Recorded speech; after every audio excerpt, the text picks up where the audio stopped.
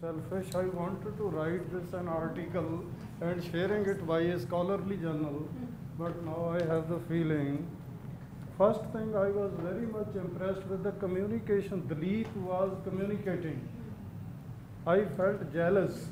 How, why can't I communicate like him?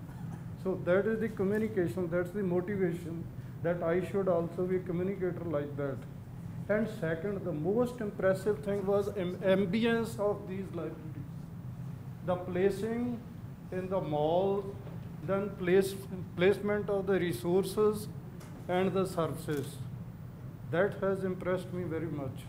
And the way the library is being used by this nation because Ranganathan starts with the philosophy, putting knowledge to work. Are for use. Here I have seen how ferociously the library is being used. That was my third learning. Then how technology has given a death blow to the traditional constraints of space and time. You don't have to wait that library will open and then you will use it. Anytime with mobile app you can make use of the library. And the print paradigm is prevailing and the digital paradigm and the greening of this library. Everywhere I have seen plants, so that has impressed me very much. And then there is a repetition on the volunteerism and partnership. And what, what is the next point? Two, two quick wins. So that is greening of the library and ambience of the library.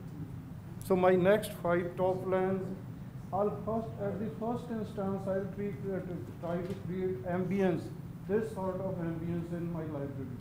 And then I'll put green plants outside the library and inside the library so that people have both the artificial and the natural feeling while inside the library.